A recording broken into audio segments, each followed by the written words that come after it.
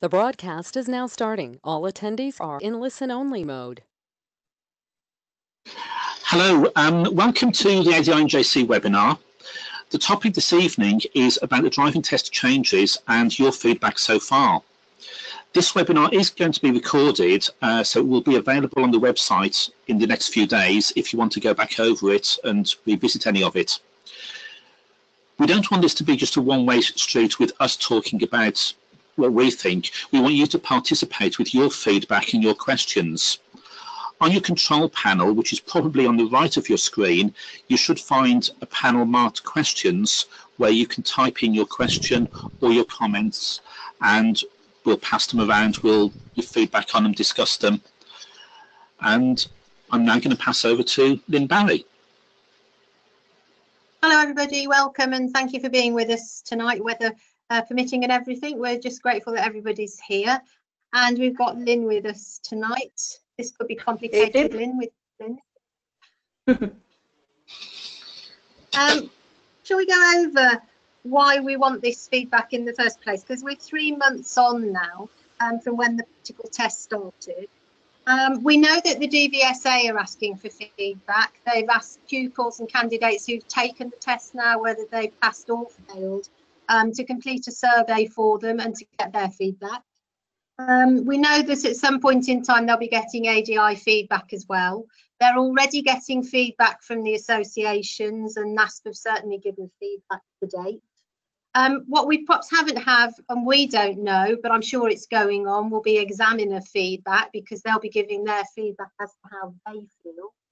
Um, and to be honest, I think once we've got all this feedback and probably um, in another month or two's time, certainly six months on, I think we will have enough feedback then for them to, if they need to make any decisions about anything or any changes to any of this, then they've got the opportunity, I guess, to do that.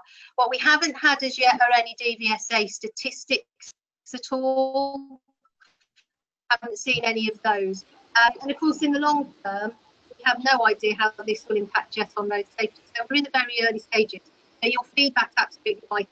I travelled around to local association meetings, um, and also we've had Sue Duncan asked there is a lot of people writing in with only queries their feedback. So we are gathering a lot of feedback. I'm also talking in April, six months on from when this first started, at the Young Driver Focus event in London, um, and that's the that I will be giving. It's about, it follows on from one that Lesley Young is giving about the test, and then mine will follow on and give ADI views.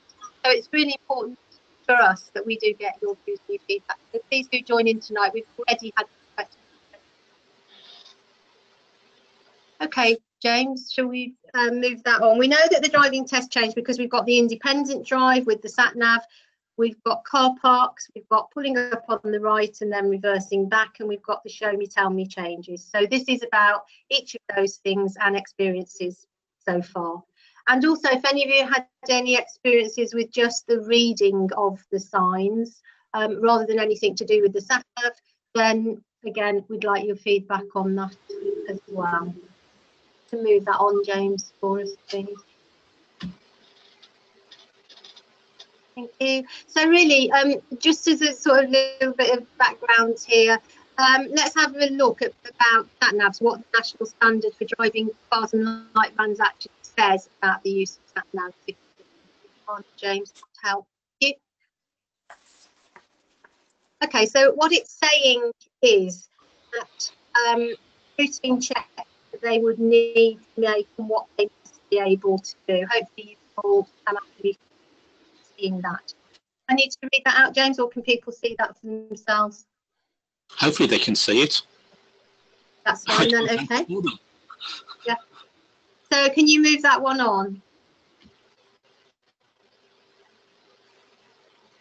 Yeah, so I mean, whilst you need to be teaching your pupil how to be able to program and put themselves where they want to teach, you know, where they want to go to, that's not actually then part of their test to do that. We all know that now personally, I have sat in the back now of tests that taken place, the new test, so experienced having sat in the back. Probably not as much as you because I don't teach that many learners. Can you move it on for us, please, James?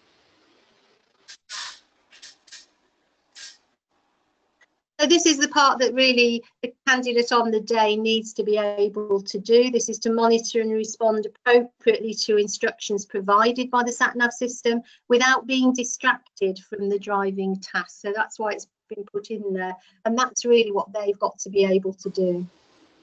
So let's see what sort of you know comments we've had about that, what sort of feedback we've had on it.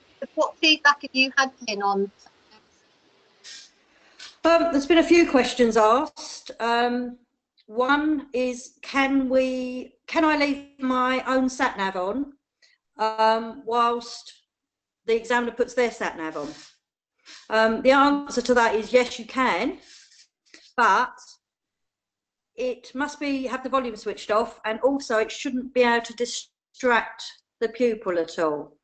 So they can have it on if they want to. I don't know why they would want to, but they can have it on running in the background as long as the volume's off. So that was one of the questions that got asked. Um, another question was what controls can the um, pupil ask to change on the sat nav? Mm. So the there's two two controls they can change. One is if they want to have it in 2D or 3D, so they can be changed. And also, some people prefer a different aspect to having it just flat 2D and some prefer the 3D aspect. You can also change the volume, ask it to be put up or down. So that's another thing that's changed. Some examiners, we understand, are actually asking the pupil where they would like to place the sat nav. I don't think this is happening at every centre, but from what I understand, some examiners are actually asking. So that's quite nice. Um, problem is in this case, if the examiner does ask, you've got to know where you want it put. There's no point in just sitting there going, oh, I don't know. So perhaps if you know that's happening in your test centre, perhaps prepare your pupils for that so they can make a decision.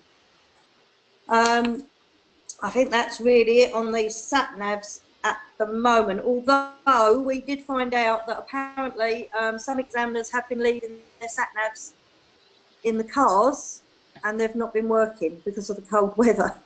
So um, that might actually affect us as well. I don't know if some instructors have done that as well. I think that is the instructors. Some of them have left, found they've left them in the cars, and then the cold weather has just uh, meant that they've almost gone flat and they're not working properly. So we have had quite a few people with um, a few queries on the sat nav. We've had feedback on the sat nav. We've had people say that the sat navs weren't working once the test set off. One ADI said that the sat nav broke down three times and the examiner pulled over three times and sorted it out. Um, but at the end of the day, that, that after three times and it didn't work, they actually gave up on that and went back to directions. So obviously, is or was early days then so hopefully these sort of minor things are getting sorted out. But of course all that's taking time up on the test and can be a bit off-putting for the candidate. We do have i mean we could send out this to people. I'll just hold it up so you can see it. This is actually in a test center um, in one of the test centers so it's all the settings for the sat nav exactly how the DVSA will use them. Personally, I hadn't seen that anywhere else, but an examiner somewhere has obviously put it up in the test centre, so we have got that if anybody did want um, to see it and have a copy of it. Anything else on the sat navs that, that you can think of, Lynn, that anybody's been asking? Uh, we, we've just had another question come in. Um, and it's regarding speed limits. The speed limits on the sat navs are actually showing differently to the speed limits on our cars, which I think we probably mm. already all know, don't we? Um, yeah. But they, they are advising the pupils that they should be using the speedo and not the sat nav because some pupils are looking at the sat navs and they don't need to look at those. Just look at their speedo, and the examiners are well aware of the um, differential. So yeah, that's a question that's just come in. Apart from that, I don't think I we have any sorry in my area i did notice that when i was using a sat nav on a lesson that the speed was varying but it varied by sat nav was saying that i was in a, a 60 and actually we were in a 40 and it's been a 40 for a long time so we do need to really watch that um, because we don't want pupils relying on that at all. So definitely what you've just said to watch the actual speedo and, and not the, the speed on the sat nav. It's there as a clue and a hint if they get really lost, but it's um, on speeds, but it's not to be relied on. I think we've got to make that very clear to them.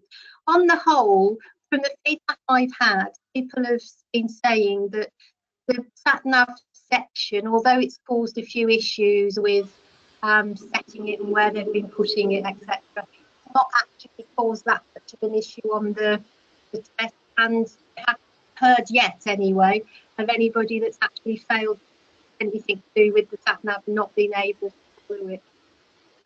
No, I've had So good reports back, I have to say. I have heard, there's been a few little moans, but in general, the pupils seem to be liking the sat nav, which is the main thing. And they seem to be understanding it. I think one little thing that I came across was um, quite often the sat nav will give you an instruction 300 yards turn left, 300 yards turn right, and there will be a road before that. So the pupils have got to get used to looking, glancing at the sat nav just to make sure it's not the next left. Um, so it's it's good and useful for the pupils to get used to this because it's real life driving. It's what they need to do in Yes, the future. a comment from one of the examiners was, I wish they'd learn where 300 yards, 400 yards, etc. actually is. And that's a good point, isn't it? Yeah, Because some of them, as soon as they hear it, think they've got to do it. But that's all going to come with training and it will, all of this will move on. But in general, I don't think that the issues we've had have been to do with the sat nav. If any of you are listening and want to ask us any questions or know differently, then we really honestly do want to know. one comment you move that came on? up. One comment that came up from a pupil the other day, um, Mm. and actually I hadn't thought about it until they said it, was uh, it said 300 yards, and the pupil said, "Lynn, what is a yard?" Mm. I don't know yards. No, exactly, exactly. 91 And I- centimetres. That's quite interesting. Which is true because the way they're taught in school now, they won't know what a yard is, will they? So it's, you know, it, it is that is something that they're going to have to be trained to do. Yep, yep. Mm. Can we change that one on, James? So just basically then we're saying that what your pupils need to know is how to program the sat nav at some point. So I've been making mine put their own address in and then we drive back to there or to somewhere else. Um, interpret the information, match it to the road, which is what we're talking about with the distances. Um, to look at signs on the road as well and try and link them together with the sat nav. Um, is it an aid or is it a distraction? It was put in this test as a distraction, really. Um, but if it's used properly, obviously it can aid their driving in as much as it helps them with their route planning. Um, teaching them when to look at it, what to do if they go the wrong way, and to look but not to touch it while they're they're going along. Those are obviously sort of things that we need to be teaching them. Um, have you had anybody say anything about if they've gone the wrong way, Lynn, with the, the sat nav on the test? No, uh, luckily I haven't had that happen yet, but um, I'm sure the sat nav re- reroutes them straight away as long as they do it correctly. There doesn't seem to be an issue with it as long as they do it correctly. Um, it's really the same as the old instructions. There's no difference there. Um, Yeah. They used to be told to turn left and they'd turn right, so there is no difference really too much there. And the DT1, the examiners, sorry, the examiners guidelines do actually say that if they go off route, first of all, the sat nav will probably reroute them, but if it doesn't, that the examiner will take over. linking to that, there's been a comment um, saying SatNav says keep left when it's a turn left. So that is presumably getting used to interpreting what the SatNav says, relating it to the road you can actually see ahead and working it out. Because sometimes it will perhaps be misleading or hard to Yeah, understand. Lo- Locally, we have one that comes up, it's a junction to the left, but the junction to the left is actually on a bend. And the sat nav actually says bear left. So Yes, we- do need to signal. So it's just getting used to using them and understanding the terminology. Having talked to the ADIs though who have sat in the back more than I have, they say that when that happens, um, the examiner has stepped in and, and told them what to do. You know that it is it is actually a junction, and they'll need to react as if it is a junction. So I think where at the beginning, especially where there were issues, the examiners are stepping in. It's it's not there to catch them out, is it? It's um it's there to sort of. And we've always said the examiners will step in if they need to to help. Yeah. Okay, thanks, James. Can, shall we move that one on? Car park, Lynn, do you just want to go into any questions that we've had on the car parks?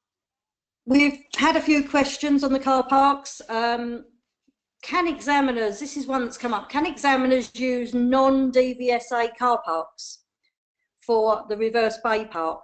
So in other words, are they doing the reverse into the bay at the test centre or are they doing it outside? Um, as far as we know, and the blog that was sent out by DVSA said that they will only use test centre car parks to do the reverse manoeuvre the reverse into a bay. Um, we would be interested to find out if there are anybody anybody that's had different experiences to that. Um, so if anybody knows of anyone that's had a reverse into a bay outside the test centre, if they could let us know, that would be useful. It would be good feedback. But according to the blog, they should be doing the reverse in the DVSA car park. The forward bay is being done out on the road. Um, apart from that, we haven't any more questions on the reverse or the forward drive. Can we just clarify the forward one is being done in car parks out and around, but Yes. also haven't we had definite incidences there where it's been done at the end coming into the test centre car park? I thought the DVSA had said that if they needed to use their own car park for, uh, for that manoeuvre, they would do that. Yes, yes. So they would, they can drive forwards into a DVSA car park, can't they? At the end, some test centres have always done that anyway. So Uh, the question is, and something that actually I'm not sure about, are they um, then being asked to reverse back out of it again, or are they just leaving it in there? hmm, I don't, don't know. That'd be interesting to find out. Yeah, I think that's one um, that we need to. I'm just making a list here of questions. It's one that uh, came up really only today, so um, we'll find that one out. Do they have to go back again? Um, I don't know whether you've heard of people having real issues with car parks, but some of the issues that I've heard about are particularly where they have the, I think they're ParkingEye cameras, where you can't go back in after uh, until two hours later. Um, so some ADIs were using a car park at the beginning before a test, and the test was going into the same car park. Um, and if you're not careful, it's going to be the ADI that's going to get the ticket there because it will be their car that will be seen on the camera. And there have been instances of that happening. We've made DVSA aware of it, and they've been saying they've made their examiners aware of it. Basically, I suppose it's ADIs so we've got test that day, and that car parks are specific ones are being used, then really we'd be better to keep out of it in case the test goes back in. But that I can see how that could be an issue if you get an instructor who has a test. You know, I know some instructors do tests and they are quite close together if the car was going back into the car park. Um, we have that had would- also, yeah, Sorry, Lynn. That would be an issue if the exam, if an ADI had two tests in one day as well, wouldn't it? So an ADI may have two tests, one after the other, and they may both use the same car park. So that could also be an issue. I don't know how that would work. I- it's not happening very often or it hasn't happened yet, but it did occur to me that possibly that could happen with the same driving instructor car because another examiner might not realise. But I have to say, No. in my own area, the examiners have been quite helpful and quite clever, really, on finding some totally new car parks that none of us had even really used before in the area. Um, they've gone, for example, and liaised with the local football club who don't need their car park in the daytime. It's totally empty. And so that's being used on tests quite a lot. But they have put notices up to say that if ADI start using it, that facility will be withdrawn straight away. So uh, up to now, it's obviously still working, and I hope it does. But I think they've been really quite clever in finding new places. They've liaised with some pub car parks, um, and the owners are letting them use the car park in the daytime up to a certain time, up to sort of lunchtime. So the early morning tests are tending to use that car park. Um, so from some points of view, that uh, in our area, the examiners have done quite a lot of work on finding new places to go, which is pleasing. But from feedback, I'm not sure that's the case everywhere. No, I think it's going to be an evolving thing as well because I think um, they're going to have to keep revolving round car parks. They won't be able to use the same ones for a long period of time. So I think they will need to be keep going out and looking for new car parks so that they can use them at different times, um, which would be interesting. And the examiners that will keep the, the examiners quite busy going out and speaking to all these people. And of course, the pupils have definitely got to practice coming in and out of them because um, when I've sat in the back of tests, it was actually quite amazing that on the one test I sat in, we passed seven no entry signs.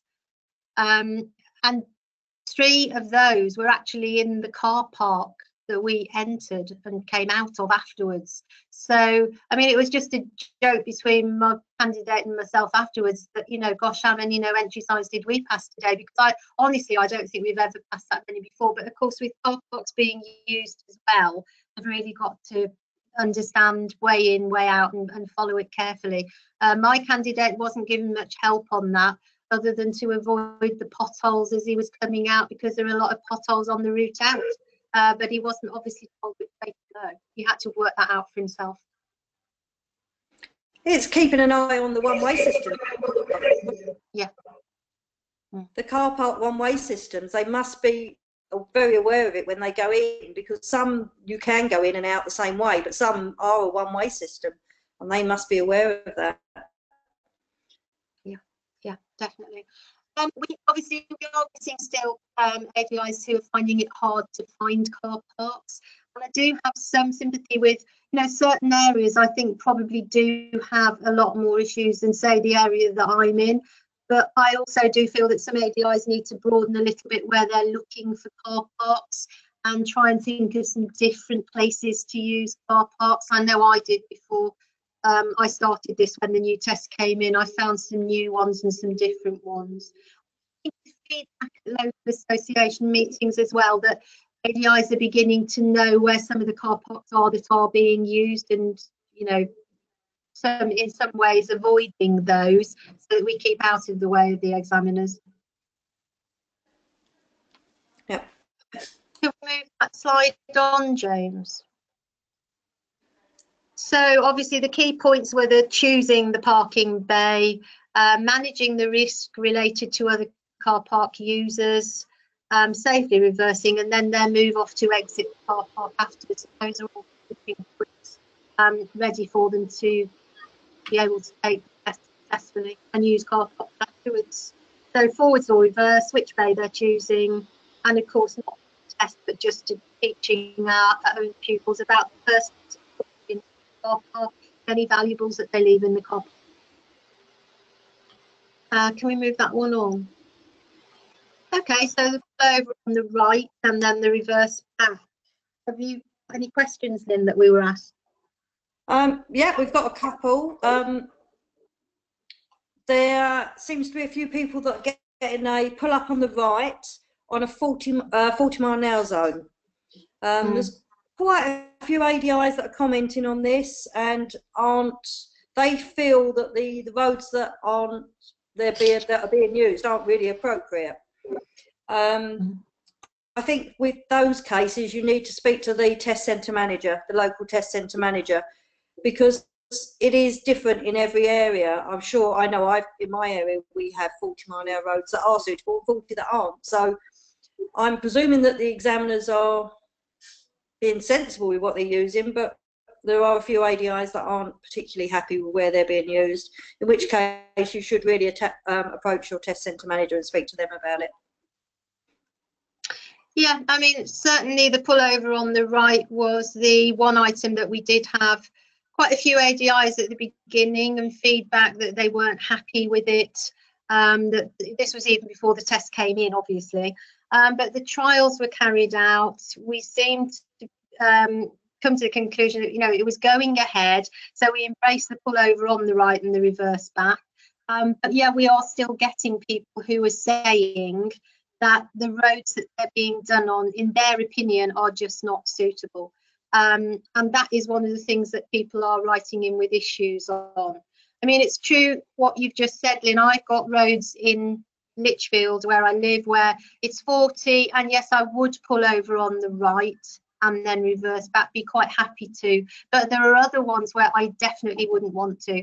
And we've had some people write in to say that once they pulled over while it was quiet, but then it became so busy that it took them a long time to move away.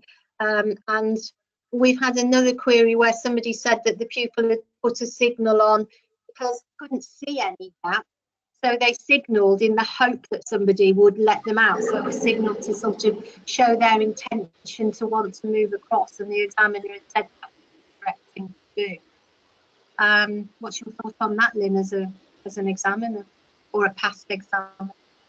It's it's a hard one because you need to be there to see the situation. Um, I would expect a pupil to put a signal on if they were if there was a lot of traffic because they would expect to. How is someone going to know that they want to pull out? Someone may then want to let them out. Um, no, I don't know. That's a hard one to comment on. I don't know what else was happening at the time.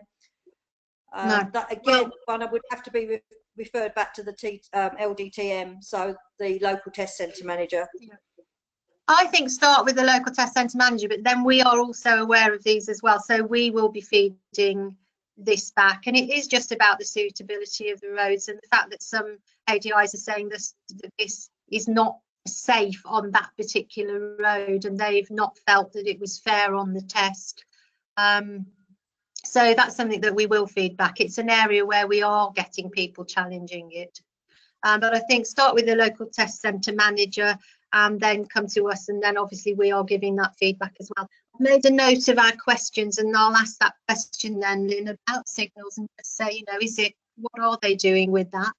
Um, because it's it's the fact that some examiners are saying one thing and some are perhaps saying something different. But as you say, if you're not in the actual situation, you don't know the whole picture. Very hard to judge a picture without seeing it. So there could have been perhaps a push bike coming along, maybe. There could have been something there, I don't know. So it's very hard to say. First port call is always te- uh, test centre manager, and then, as you said, Lynn, approach us if not, come to us and speak to us. But um, yes, it, this is the one area that we seem to be getting a lot of comments on. This out of all of the new tests, I think this is the area that we seem to be getting quite a few people commenting on. Um, the other comment we've had is how can we pull up on the right in the dark? Um, Highway Code Rule number 248 says that we must not park facing the oncoming traffic with our lights on. So I think this is something we need to address. Uh, personally, I've got a pupil that works up in the city. She only comes home in the evenings, and I've been teaching all over the winter. Um, we haven't haven't been able to uh, do a pullover in the right. So it is actually a problem. I don't work weekends because I'm always away doing NJC stuff. Um, but so I've had to actually um, arrange for to work a Saturday just to take her out. So there is a little bit of a problem with this, and I think we do need to address this somehow. I have to say, when I did bring this up with the DVSA, that was their reaction that we need to come up with solutions and plans, plan a way round being able to help people at a different time. Because you're saying that you would not teach this at night, aren't you? And yet I've, which I would agree with, but I've seen ADIs out there who clearly are. So I, I've got a bit of an issue with this one as a as a safety thing. There are some areas in um, my local area where they are they're on the road, but they are designated bays over on the right. So Yes, you could use somewhere like that, but there aren't that many of those, and some places don't have anything like that at all. Um, so I, it's the issue with the night time, and the only answer that I, I've been given really is um, you're going to have to come up as ADIs with solutions to it. I mean, to be honest, it doesn't take that long to teach this. Um, and in fact, I've quite, in some respects, I've quite enjoyed teaching it because there's an awful lot to this one. Um, it's amazed me how much really the, the pupils need to really think not just about the move over, but where they position and then the looking round and the moving off again. It's quite a demanding manoeuvre in actual fact. Um, so I've, I've enjoyed doing it, but I, I haven't had a test yet um, myself where I thought that the road wasn't suitable or heard of um, roads being used in our area that aren't suitable. But I do know not too far away. We have had a comment in relation to this one, and it's hold on. It's a, sorry, just lost it. Um, it says Chief Police Officers Council say it's okay. Most people are not happy though. Uh, you can pull up on the right at night against the flow of traffic in designated parking bays and turn your Mm. headlights off. Yeah. Um, and um, adding another point, it perhaps is dependent on the road. So if you t- maybe in a very quiet estate and you are thinking about turning your headlights down to side lights, maybe it could be done there. maybe, yeah. Not, not ideal, but have to teach it some way. Yeah. There was also, I mean, it's it's probably worth just mentioning before the test started, um, there so. was um, a video. Sorry, there was a video of um, somebody who was parked on the right in a lesson, and um, an accident that occurred with a car that was coming towards them. Um, and I've watched the video. I know you have, Lynn, and I've watched it a few times. And to be honest, I mean, the, the conversation between the ADI and the pupil was, uh, they suddenly stopped talking, and then the conversation went, "Gosh, have you seen how close that woman is to that parked car? Because there were parked cars in front of them. Um, she's getting way too close." And then, oh, bang, and she had gone into their car as well. But I have to say, I would want to know the whole story to that before you could say that it was because the ADI was parked on the right, because she'd been way too close to the other cars before that. And to be honest, if it's an eyesight issue, something that could happen left or right. But I know a lot of people were concerned about that this year. We've had another comment which may actually provide the perfect answer. I'm surprised none of us have come up with it before. To teach right side Go on then. pulling at night, you use a one-way street. Simple, isn't Yeah. it? Excellent. Excellent. Haven't got very many, but yeah. yes. That's a good, yeah, yeah, that's good. Um, Um, but I haven't got very many that we can use actually. Yeah. How do we stand, how would actually- we stand reversing back two car lengths? I I can't see that's an issue, actually. I can't see it's an I can't issue. see that's. You might have to shuffle yourself into a space anyway, so I can't really see that that would be an issue. If you want to go into the highway code rule that you shouldn't reverse any further than is necessary, but you could actually argue that on any roads, is any reverse necessary on a test or Yeah. lesson? Mm. No, that's, that is um, an excellent answer. Well, well done, that person who spoke, sent that in. Well Well done, done. thank you. Well done, Martin Loveridge. Well done. Uh, just in case anybody's wondering why we have these black and white photos on here, um, just to say, you know, that these were taken, I don't know the exact date, but the top one was the final position of the car on the very first driving test, wasn't it? It was 19, that was in the 1930s. 1930s, I'm not sure it was the first driving test, but that was in the 1930s. And the bottom one is from the 1960s. Right. I think that What was top the- one is actually where the position of the car ended up on that uh, famous video that we've all seen of the driving test. It ends up on the right hand side, so we would say, and look, have been doing it forever and more. So, um, no, it's all been going on, but um, we are taking on board the fact that some of you are still having issues with where it's being done. I think you know, if the DVSA thought that this was being unsafe on roads that we don't feel are safe in our area, then, you know, we look into it. Definitely. Can we move the slide on, James? So where to stop safely, straight line reversing, managing the risks, moving off safely then, considerations for passengers getting in and out, that's not for the test, but for the, our actual teaching, and then what to do at night, which we've discussed. So we can move that one on, James. Show me, tell me questions. We know that that's another area where we've got um, a new section. So we've got one tell me at the start and one show me whilst driving along. Have you got any comments or questions? No, Lynn? Uh, we've got a couple of questions. Two questions have been sent in. Um, do the pu- uh, does the pupil need to turn the controls off after they've operated them? So, in other words, Oh, well, if, yeah, sorry. No, go on. yeah, in other, if they've put on the re- rear demist, do they need to then turn it off? Um, and the answer is no, they don't have to. So, if they've opened the window, do they need to close it? Um, but the rear demist, no, you don't need to turn it off unless you wish to. Um, personally, I teach mine to put it on and turn it off. Um, I hadn't really thought to just leave it on because I wouldn't leave it on if I wasn't using it. Um, so I think that's personal choice. If you want to let them te- uh, leave it on, that is absolutely fine. Um, another on the question test we've I sat in, on the test I sat in, Lynn, um, one of them, the pupil was asked to do the rear screen, and then he said to the examiner, "Do you want me to turn it off again?" And the answer was, "That's up to you." So he did actually turn it off. So I suppose you know, as you say, it depends. Does it still need to be on for a purpose? Is it helping in any way? Then leave it. But if you don't want your window left open or something, then common sense tells you to shut it again. I, I think it's up to the pupil really to make that decision, and that's what we should be helping them to understand. Exactly.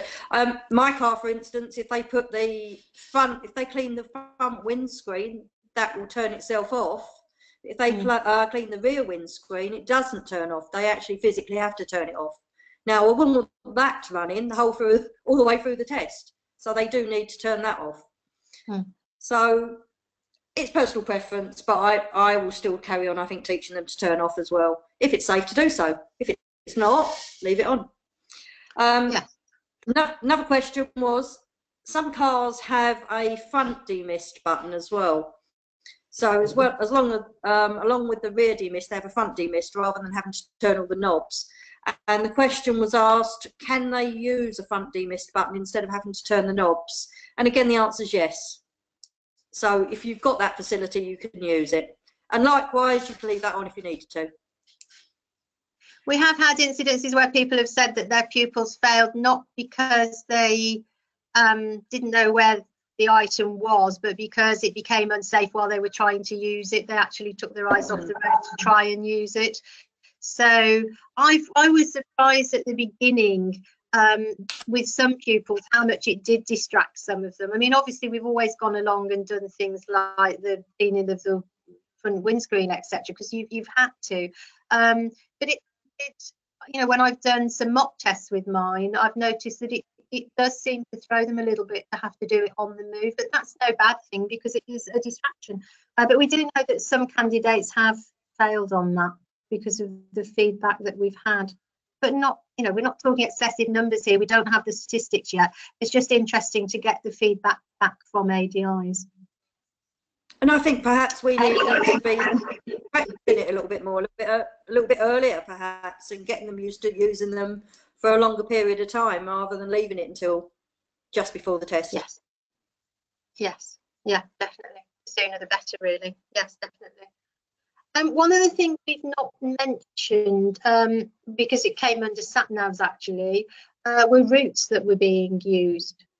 So we have had a lot of comments on routes and the fact that although at the beginning when this was introduced, we were told that it would help us go out further and mean we could have more fast or flowing roads. So we were expecting routes to change. A lot of feedback suggesting that routes aren't changing that much at all, if if at all. Have you got any feedback on that, Lynn? No, I, we've in our area, my area, there there are a few new routes, um, but likewise, some of the older routes are being used as well. Uh, whether that's because now they've got recordable sat navs and they can actually just drive a route and record it, I don't know. Um, but no, we've got a few new routes, but not all of our routes have changed, or some parts of it have, but not much. Mm. So fair Yeah. comment. I think, and I have heard this a lot from a lot of pe- people across the country. So Yeah, I think of all the comments that we've had, that that's the one that we've received the most on the fact that the routes, some of them, well, not many of them have changed that much at all, and some of them have been on quite sort of slow little local roads. So uh, that is something as well to be looking at. I mean, there could be reasons for these sorts of things. We don't, you know, we, we- don't know. Um, but obviously, once this is up and underway and they're happier with the sat navs, then maybe they will start to change uh, some of the routes and we will start to see the routes changing. I I'm think hoping that that question will be a. NASP. I think that question will probably be a NASP question, maybe, Lynn. Take that to NASP Yeah, the ask routes. them. it's- Yeah. Yeah, definitely. It's on. It's on my list. I think we might well ask before then, but it's definitely on my list for that meeting. for Sure. Yeah. Anything else on the show and tell, Liz? That's worrying anybody. Hmm. Have we got any other questions, um, James? That anybody wants answering? Uh, no, no other activity. All right, okay, well, let's move to the next slide, which was just about um, manoeuvres that are no longer being used currently on the, the test, so the turn in the road and reverse around the corner. Um, and do the pupils still need to learn them? Um, and are you still teaching them?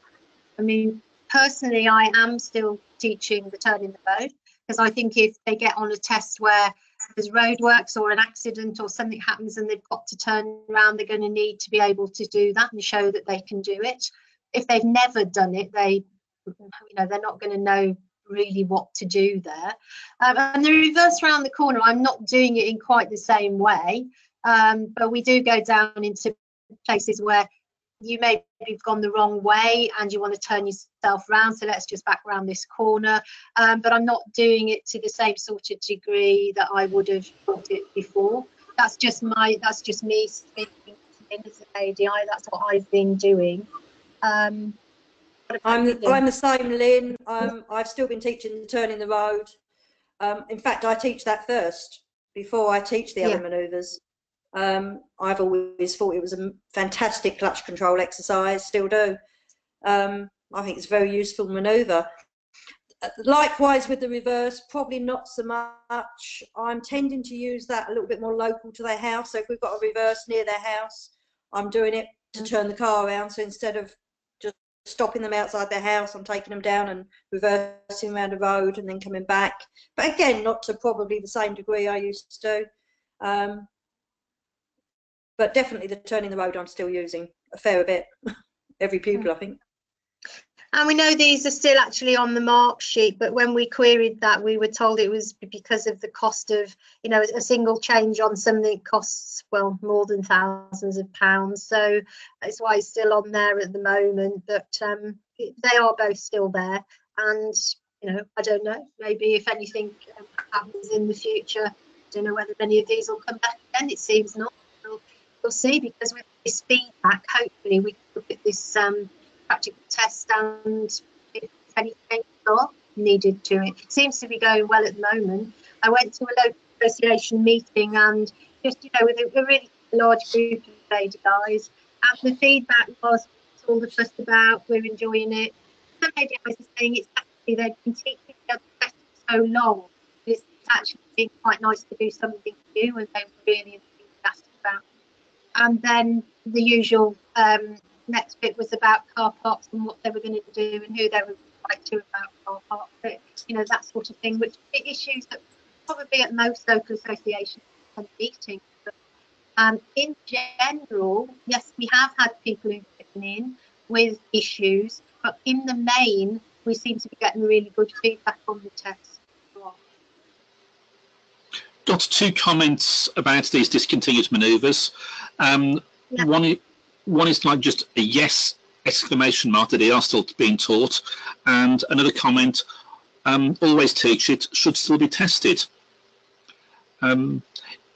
Well, some people always did say that they would have preferred all of the manoeuvres to stay in. So, um, you know, that's the con- we can take all this feedback back, and we will.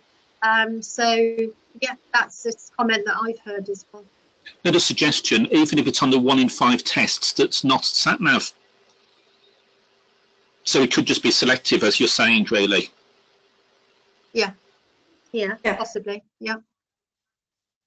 It's another good suggestion that could go forwards to NASP, isn't it? Perhaps that maybe people would prefer to have all six in and Yeah. have one the choice out of the six rather than just the four. So perhaps that's a comment to pass forward. Although, does that bring us back? I don't know. I'm just trying to look at this from the other side. Does that bring us back to um, having to spend a large proportion of the time in lessons on teaching manoeuvres, whereas actually we want that time to be more on the road um, from the safety aspect because we know that that's where the accidents happen. Um, you know, I can see fours and against. I can see it from both sides. But isn't it both? Because even a, a crash in a car park, the cost of a mirror, the cost of a bumper, they can run into several hundred pounds or even thousands. So even like the low one, it's not killing anybody in most cases. The um, the less serious crashes do still cost a lot of money and have consequences. Yeah. Can we just And- move that on to the next slide of the NASP survey, James, as well? Sorry, Lynn. It's fine. Do you want me to do this and then come in? But um, we have got a survey at NASP. It's on the NASP website.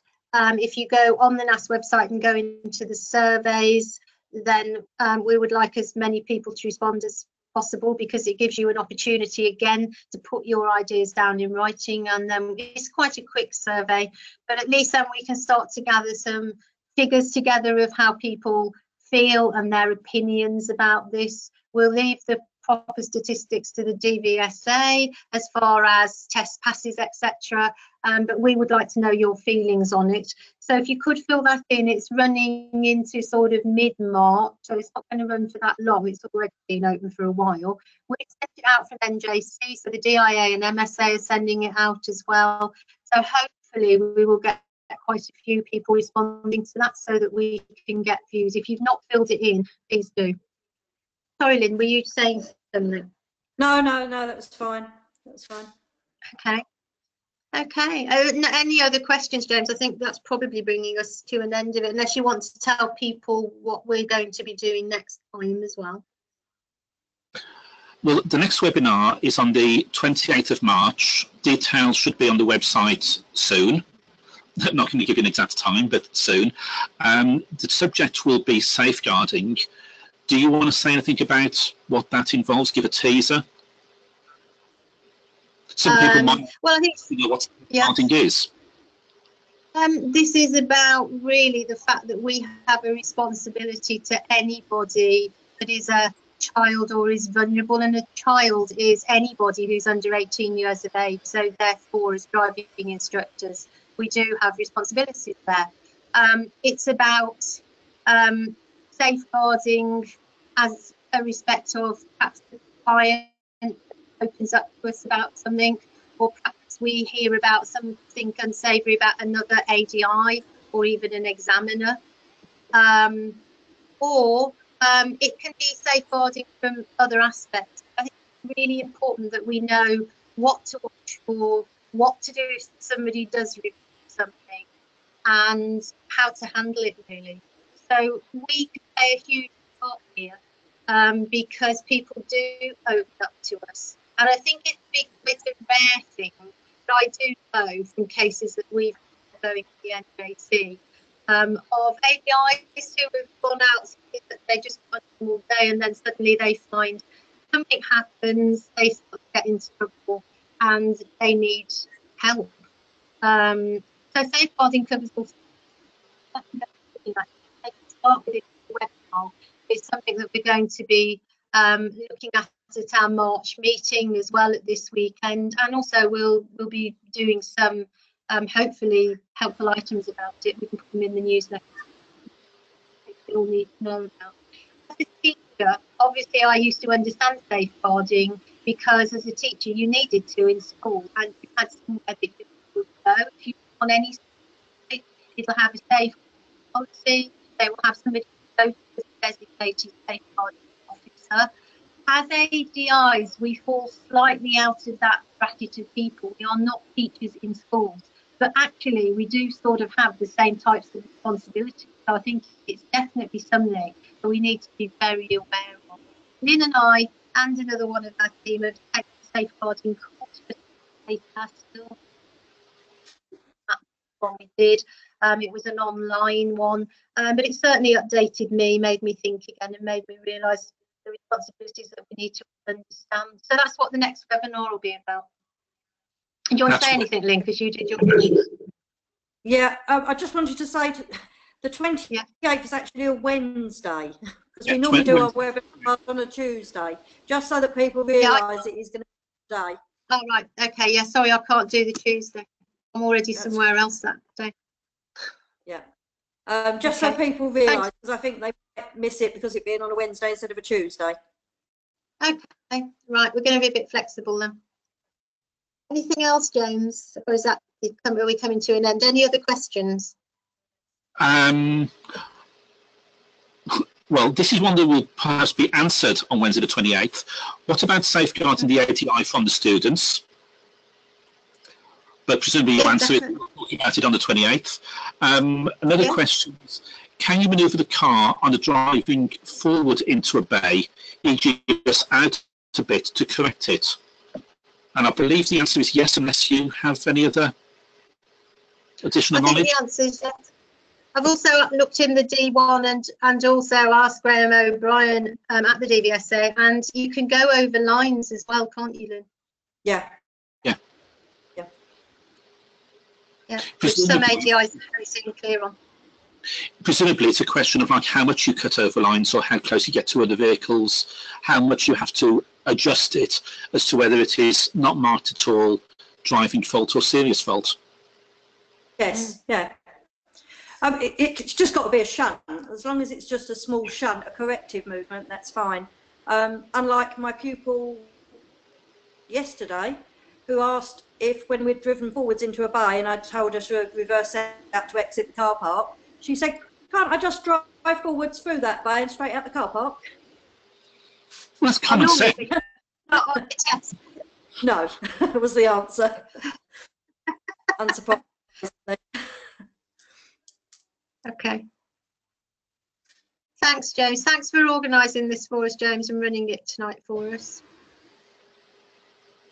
Okay, so I think we've come to the end. Yeah, thanks very much indeed. Thanks, everybody, and thanks for taking part tonight. We're recorded it, but then we will put it onto um, the website shortly. We look forward to joining you on safeguarding, which is the next thing that we'll be looking. Thank you. Bye Thank you. now. Bye. Bye.